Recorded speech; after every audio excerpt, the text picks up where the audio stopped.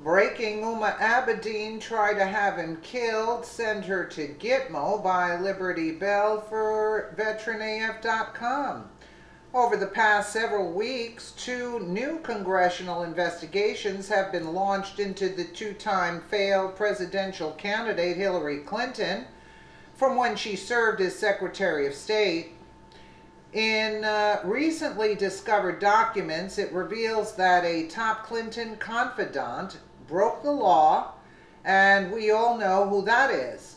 Huma Abedin has been in the news lately after it was discovered that she backed emails up on her convicted pedophile husband Anthony Weiner's computer.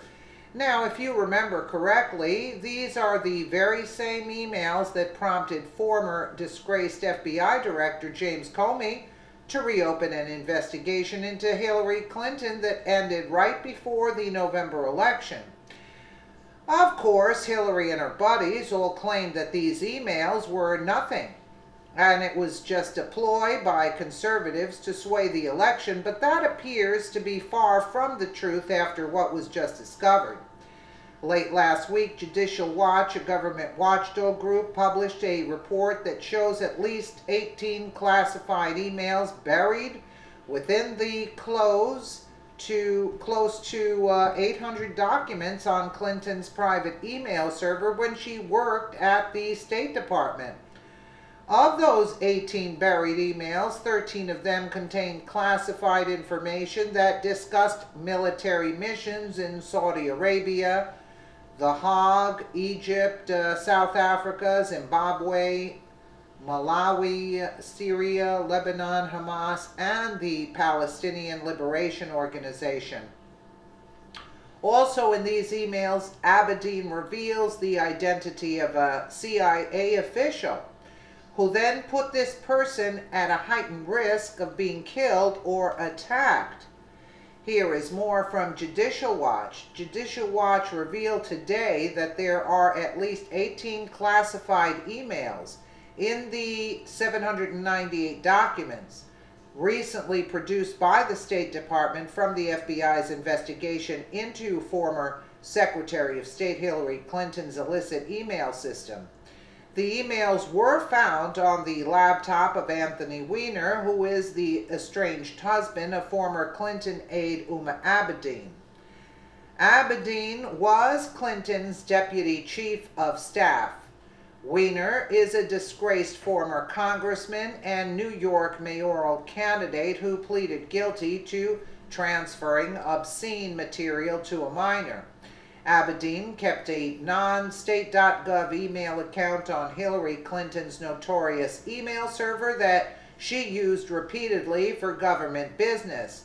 There are five new classified emails among the 147 new.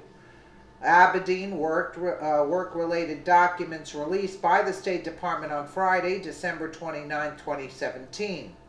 13 emails containing classified information will, were also found on Weiner's laptop computer that had already been released to the public.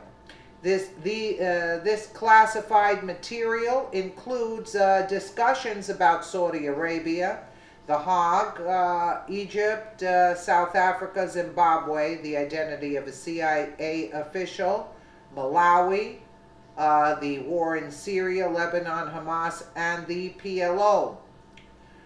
On two occasions, classified material was sent by Abedin on her ClintonEmail.com account to Weiner's laptop sent to Anthony Campaign on November 25, 2010.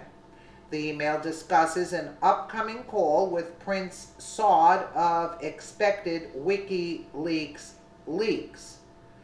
Abedin sent classified information the following day to Weiner's laptop concerning a call that Jeff, presumably then U.S. Assistant Secretary of State for Near uh, Eastern Affairs, Jeffrey uh, Feltman, had uh, with uh, United Am Arab Emirates Prince uh, Prime Minister, excuse me, Abdullah bin Zayed. The Weiner laptop also contains classified material from Abedin's BlackBerry. From July 9, 2011, email contained classified information regarding a then upcoming call between Clinton and Israeli Prime Minister Netanyahu.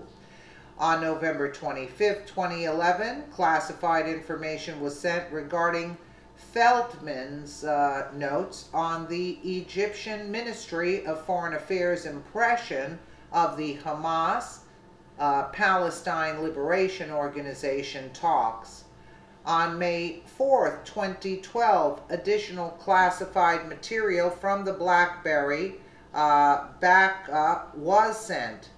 Judicial Watch's work uh, in uh, federal court holding the government accountable to the rule of law has forced the State Department to finally release these documents, said Judicial Watch President Tom Fitton.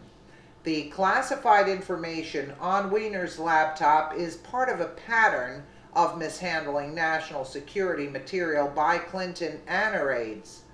The Weiner emails emphasize the need for the Justice Department to conduct a fresh, serious investigation of Hillary Clinton's and Huma Abedin's obvious violations of law. That's why we are pleased to learn that the Justice Department has repeatedly, at least, begun asking questions about the Clinton classified material. Judicial Watch has no doubt that the Justice Department is taking these steps due to the ongoing disclosures of Clinton email misconduct from Judicial Watch's lawsuits. There is no reason that Abedin should not be behind bars for what she did as well as her boss Hillary Clinton. These two women put the entire country and many others in jeopardy and they need to be held accountable for their treasonous deeds. Well, I'd like to know if it wasn't for Judicial Watch, would we have gotten to the bottom of these emails? Because it seems like uh, the Justice Department is not really looking into all of this, unless Judicial Watch uh, raised the uh, red flag saying, look into this. I mean, it, it, you know, it sort of makes you wonder sometimes. Uh, let me know what you guys think in the comments below. And again, thank you so much for watching.